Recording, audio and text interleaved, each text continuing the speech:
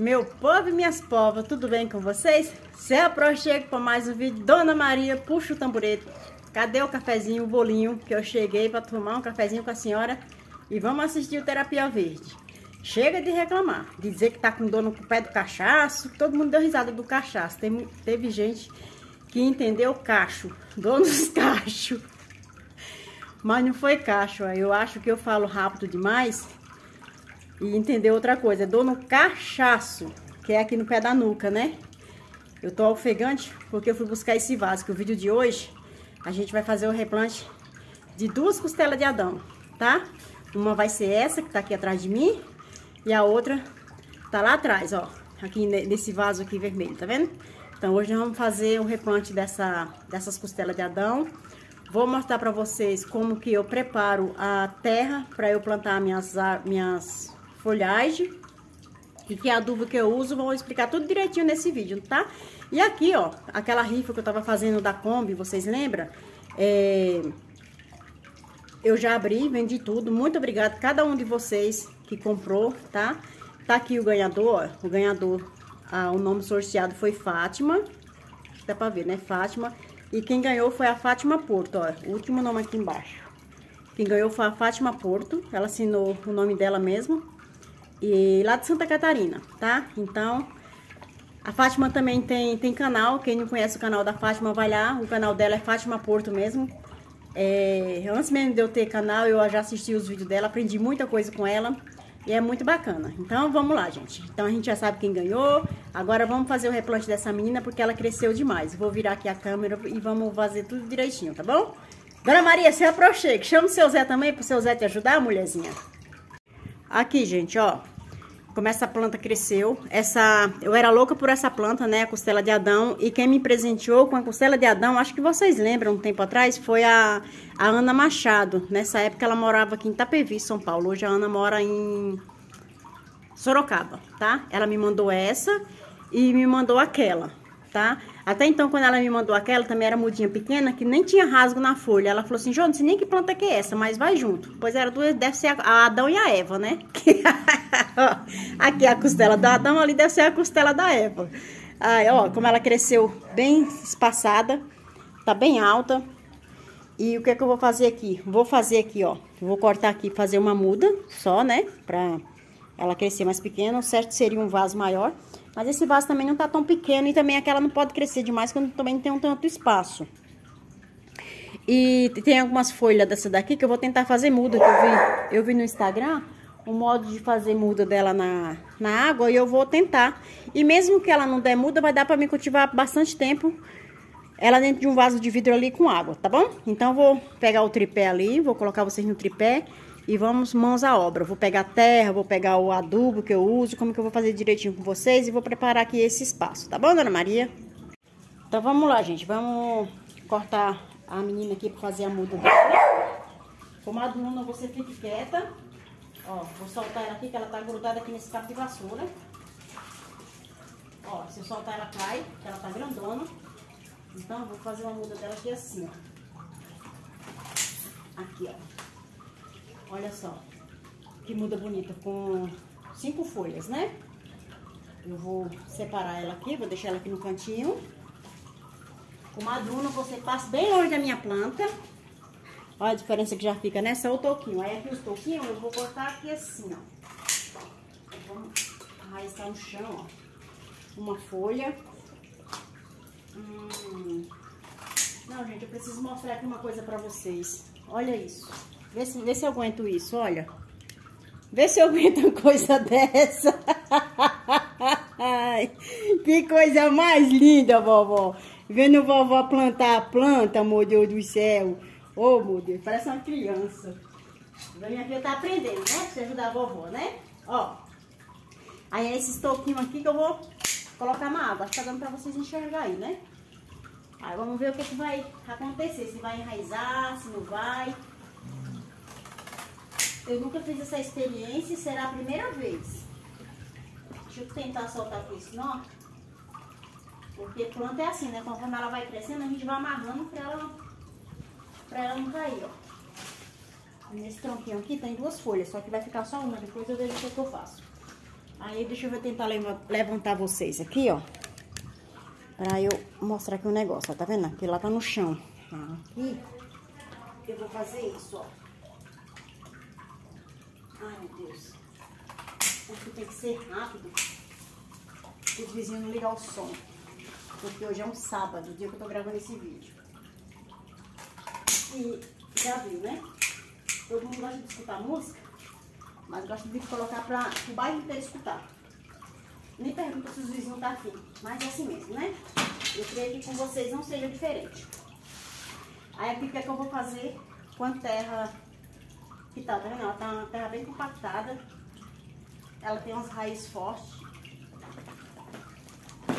Ó. Aí eu, eu vou reaproveitar essa, essa terra que tava... Ó, na era da época que eu plantava com isopor, gente, ó. Isopor aqui. Eu tinha colocado um pedaço de sombrite no fundo. Nossa, ela tava bem enraizada. Tem o que? Um, uns, três pra, uns três anos que eu tenho essa, essa, essa costela de Adão aqui nesse vaso, tá? Desde que a Ana me enviou, que ela foi plantada aqui nesse vaso, e aqui tava. Então ela tava precisando de um replante, tava lá na garagem. Tudo bem que ela vai voltar pra garagem, né? Mas ela tava bem judiada. Porque eu, eu não quero que ela cresça demais, porque não tem espaço pra tanta terra, ó. Já tem uns dias que eu não rego e mesmo assim a terra tá úmida. A gente vê a terra seca por cima e a gente acha que tá toda seca, né? Mas não tá. Então, é o seguinte, eu vou aproveitar e vou tirar já a outra, a outra espécie aqui, ó. Ela tá no, no vaso de, de cimento. Eu vou tirar ela também desse vaso de cimento e vou plantar em outro vaso. Eu tô percebendo que as folhas dela tá meio ressecada. Eu acho que ela não tá gostando também de ser plantada aqui. Mas aqui eu tenho que soltar, porque ela tá toda amarrada. Eu vou procurar ali uma tesoura pra eu tá soltando ela aqui. Vamos lá soltar ela e tentar tirar aqui desse vaso. Essa daqui eu acho ela, eu acho ela bem, bem lenta. Eu não sei se é a espécie do vaso que ela não tá gostando também. Esse negócio aqui vai aonde? Nossa, difícil. Ó, aqui também tem um tutor para ela, que seria um pedacinho de madeira. Ó, aqui tem alguma de argila, argila. Deixa eu colocar aqui nesse vaso. Uma aluna pega essas bolinhas e fica mordendo. Ela acha que deve ser um braço de rapadura. Só pode. Quando eu penso que não, tá uma com argila na boca. Vou colocar aqui. E aqui vou tentar arrancar ela. Essa daqui também tá cheia de isopor. E foi plantado no mesmo dia, né? Então era na época que eu usava isopor no fundo dos vasos. Tá? Então, tirar aqui esse isopor. Tá bem enraizada. Essa terra aqui já tá mais seca. Também tô, ela seca mais rápido. Devido ao ser cimento, o cimento também suga água mais rápido. Talvez seja isso que ela não se desenvolveu tanto. Ó, mais um pedaço de tela que eu coloquei no fundo. Olha só o tanto de raiz. Essa daqui, eu vou só cortar um pouco das raízes dela, né? Olha que bonita que tá. Tá bonita mesmo que tá feia, né? Não sei se, não sei se posso fazer isso aqui, ó. Mas eu vou fazer. A gente só vai saber quando a gente plantar ela e aguardar o desenvolvimento dela. Não tenho experiência com, com costela de Adão. É a primeira vez que eu tô fazendo o replante da minha, então a experiência a gente tem praticando nas plantas da gente, né? Aí mais pra frente eu posso atualizar pra vocês. Se dá certo ou se não dá certo. Mas por enquanto tá dando certo. Ó, cortei ela, olha que planta linda. Vou plantar ela em outro vaso. Aí agora, o que é que eu vou fazer aqui? Eu vou limpar essas raízes aqui, vou lavar o vaso. Aí eu volto com vocês pra gente fazer preparação da, da terra, que eu falo que já é uma terra cansada, tá? A gente vai renovar ela pra gente fazer o replante junto, tá bom, dona Maria? Enquanto isso, corre lá, senão o café vai derramar. Gente, eu tenho que correr quanto tempo, porque os vizinhos estão começando a falar alto, mas eu vou finalizar esse vídeo. Ó, é o seguinte, eu preciso de um vaso para plantar outra costela de Adão, né? Aí aqui, eu tenho esse vaso, que ele é médio, tamanho médio, ó. Ele é tamanho médio, Só que se eu colocar aqui a costela, deixa eu mostrar pra vocês, ó.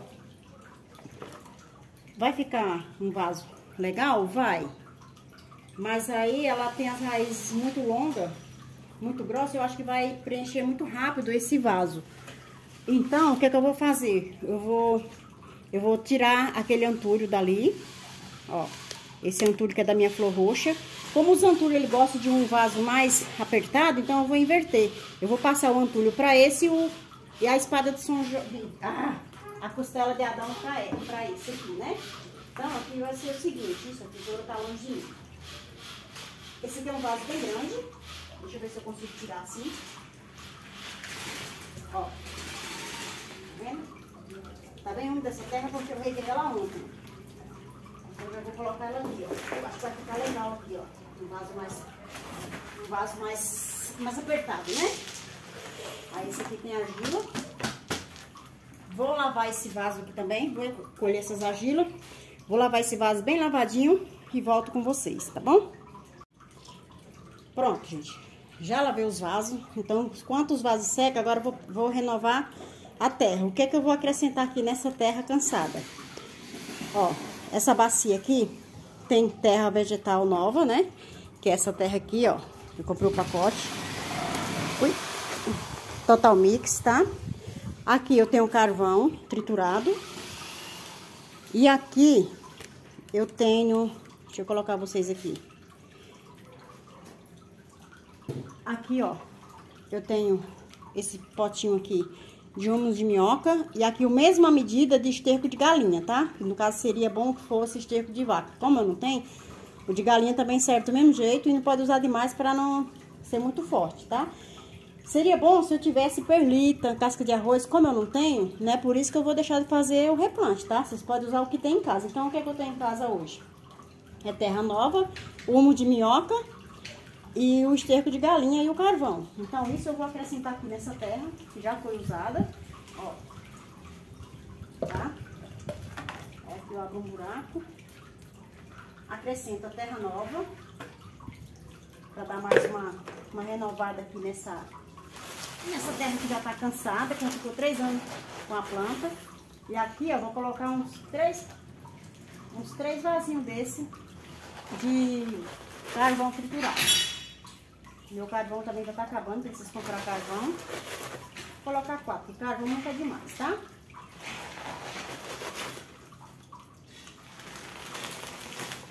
quatro vasinhos de carvão.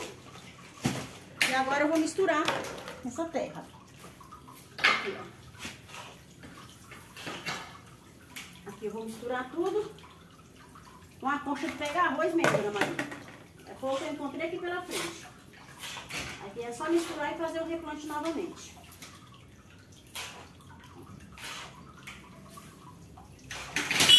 Como isso, aqui não, como isso aqui não tem segredo, eu vou misturar e volto com vocês. Aqui é o seguinte, ó. Eu ia plantar aquela outra espada nesse vaso maior aqui. Mas eu resolvi plantar essa daqui, que essa daqui eu percebi que ela cresce bem mais, né? Que é aquela que eu, que eu cortei com vocês, ó. O vaso que tava voando tudo tá limpinho, né? Porque aqui é a mesma coisa de você tomar um banho e vestir a mesma roupa, né? Então, já que a gente vai fazer um replante, vamos fazer com vaso, com vaso limpo, né? As mesmas argilas que estavam nesse, eu vou colocar de volta. Pra dar drenagem, ó bastante drenagem. A cor das mãos que fica. Você não quer fácil?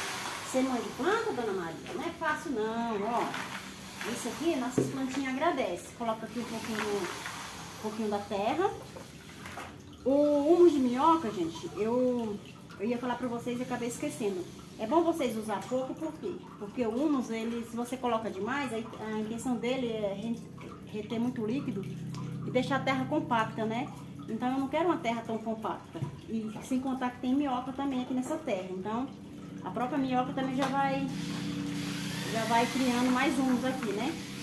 Na nossa, no nosso vaso. Vou pegar essa bacia aqui que é menor. E o óculos está escorrendo aqui no pau da venta, como diz meu irmão. E assim a gente vai. Vocês estão escutando esse barulhinho de fundo aí?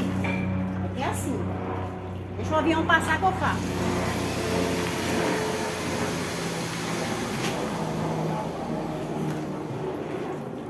Avião passou. Então, esse barulho de fundo aí é aqui eu tô trabalhando aqui e o Chico Fuzil tá ali arrumando o portãozinho, porque ele não só falta derrubar o portão. E eu vi uma minhoca bem aqui, cadê ela? Eu que não vou pegar nela.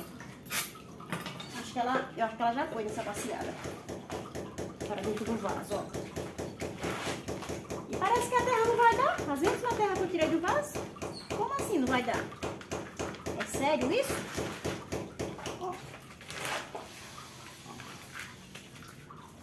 Ó aqui a minhoquinha aqui. Chega, meu filho, chega. Eu não tenho coragem de pegar você, mas eu pego assim, ó. ó. Tá vendo? Então, a primeira espada, a primeira costela, não sei onde foi achei essa espada, né? A primeira costela já está plantada. Aqui eu vou dar um jeito de amarrar aqui, ó. Essas folhas pra dar uma sustentação para ela crescer assim fechadinha. Então, aqui, O primeiro vaso está plantado. Aqui o outro vaso, ó. Limpinho. É o vizinho batendo ali na parede também, viu, gente? Hoje que tá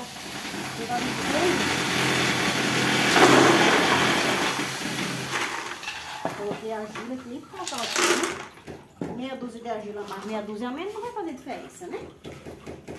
Então, aqui a gente vai plantar a, a, a costela, que no caso seria a costela de Eva. Olha só, ela vai ficar mais alta, né? Hum, queria que ela ficasse mais funda. Olha só isso aqui. Acho que tá bom aqui, né? Tá, vamos completar agora com a terra. É, vai ficar mais funda do que o que tava. E o outro vaso ela tava mais pra cima. E aqui com a mão só, é ruim pra, pra fazer as coisas, mas a gente consegue, né? Olha só. E só completar, a terra tá pretinha, soltinha, ó. Fofinha. É assim que as plantas gostam.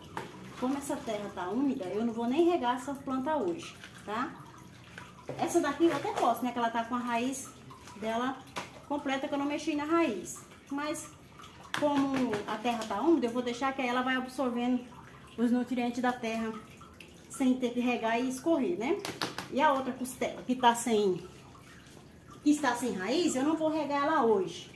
E vou explicar uma coisa pra vocês. Deixa, será que eu consigo pegar esse vaso aqui? Consigo. É, aquela costela ali, que eu plantei no outro vaso, eu vou colocar um pouco de argila aqui nesse vaso também. Pra ajudar na drenagem. Peraí que eu vou pegar a argila. Não vou plantar direto não, porque depois vai me dar complicação lá na frente. Pronto, aqui ó. Colocar um de argila. Tá bem furado o vaso, ó. Cheio de buraquinho que eu fiz. Esse vaso aqui é que é um vaso de pezinho. Não vou colocar muito. Só pra dar uma, uma, uma drenagem aqui, ó. Colocar aqui um pouquinho de terra só para cobrir a argila. Aí aqui eu venho com tudo. Pode até ser que agora ele desenvolva melhor, né? Porque eu acho ele tão lento. Só que ao mesmo tempo que esse antulho ele é lento, gente, florzinha dele é roxa. Não sei se vocês estão vendo. Sempre eu mostro ele em vídeo. Ele, desde que eu comprei, ele era uma muda só. Desde que eu comprei, ele não para de florir. Tá sempre com uma flor. Uma flor, duas. E o vaso era grandão, né? Agora, como esse vaso aqui é pequeno, eu acho que vai, ele vai se dar melhor. Vai se desenvolver melhor. Não sei agora, né? Porque agora nós estamos no outono. Muitas plantas entram em dormência. Mas eu não tenho época certa para fazer replante não, tá? Eu faço replante o ano inteiro. Desde que as plantas estejam precisando de socorro, eu tô socorrendo as bichinhas. Não fico esperando a época certa, não. Ó, então, tá aqui plantadinho o nosso entulho. Agora, o que, que eu vou fazer com as folhas? Vou juntar aqui essa... Vou juntar aqui essa terra e vou mostrar pra vocês como que eu vou cultivar aquelas folhas ali no vaso com água. Que eu vou lavar elas, que elas estão tudo cheias de pó. Aí eu volto mostrando pra vocês. Eu pensei que não ia sobrar terra, né? Pensei que ainda ia ser pouco. Mas deu pra fazer os três replantes de boa. E vou explicar outra coisa pra vocês. Pronto, gente. Trabalho finalizado. Cada planta no seu lugar. Já limpei aqui, agora é só lavar, né? Pra poder tirar um pouco dessas manchas. E o que que eu falei pra vocês que eu ia tentar explicar pra vocês, dar uma dica pra vocês. É, eu acho que vocês sabem que eu tinha costume de, de fazer o replante, principalmente nesses vasos da boca larga, e colocar argila. Só que o que, que eu percebi? Que quando a gente coloca argila, parece que a, o substrato ele não respira legal. Por exemplo, aqui, ó, nessa planta aqui. Eu plantei, né, coloquei a argila aqui, mas eu não acho que ficou legal uma forração com argila, não. Parece que a planta ela não respira legal, o substrato tá nascendo umas folhas aqui doentes, tá? Então, eu vou até tirar a argila desse, desse vaso aí, voltando lá. Então, o melhor é você deixar assim mesmo, sem, sem nenhuma cobertura. Eu prefiro, eu prefiro, tá? Mas tem gente que faz cobertura com casca de pino, com argila, com pedra. Aí é critério de cada um. Então, tá aqui, ó. Fiz o replante, limpei as folhas. Como é que eu limpo as folhas para ficar brilhosa assim? É, de preferência com café sem, sem açúcar, você umedece um pano ou um algodão e você faz a limpeza das folhas. Além de ser uma, uma ótima adubação, as folhas ficam lindas. Só que essa daqui, dessa vez, eu limpei só com pano úmido e água, tá? É, inclusive tem um vídeo gravado, que esse vídeo eu ia deixar ele para soltar mais para frente, mas eu vou soltar esse vídeo hoje, um vídeo extra para vocês, tá bom? É...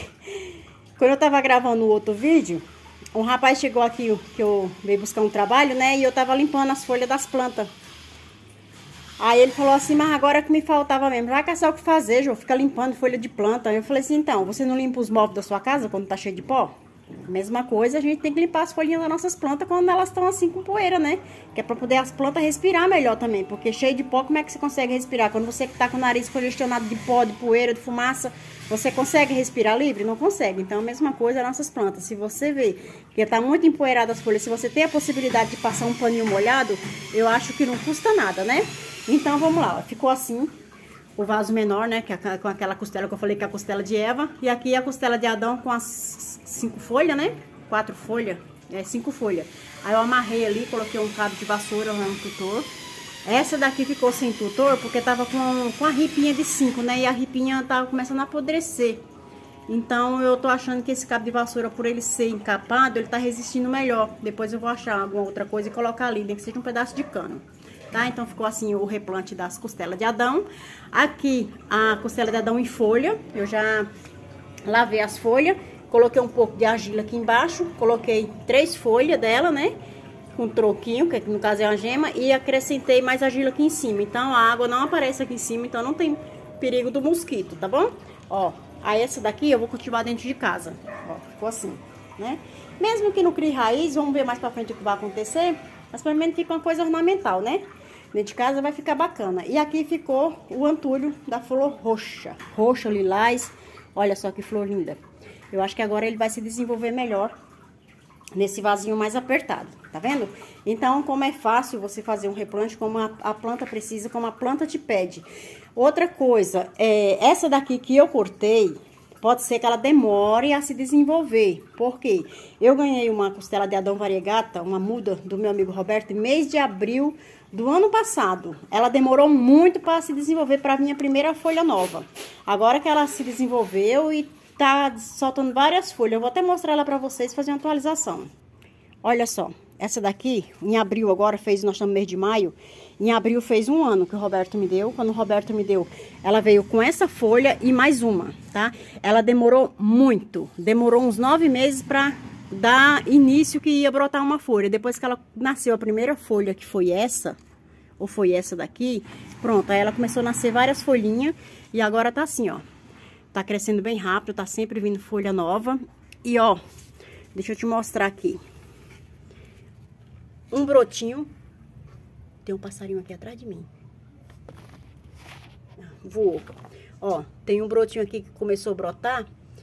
Já faz uns cinco meses que ele tá assim, ó e não brota. E esse aqui que começou, ó, já tá crescendo. Então é assim, ela demora, mas quando ela enraiza bem, que ela vê que tá bem confiável, ela começa a crescer bem rápido, tá? Então, olha só que coisa linda. Então, tem três costelas de Adão. Então, era isso, gente, que eu tinha pra me mostrar pra vocês hoje. Eu espero que vocês tenham gostado desse, desse replante, dessa manutenção nas, nas costelas de Adão. Fazia tempo que eu não fazia um trabalho desse com vocês, né? De replante. Eu espero que vocês tenham gostado. Um cheiro cheiroso da Jo e até o próximo vídeo.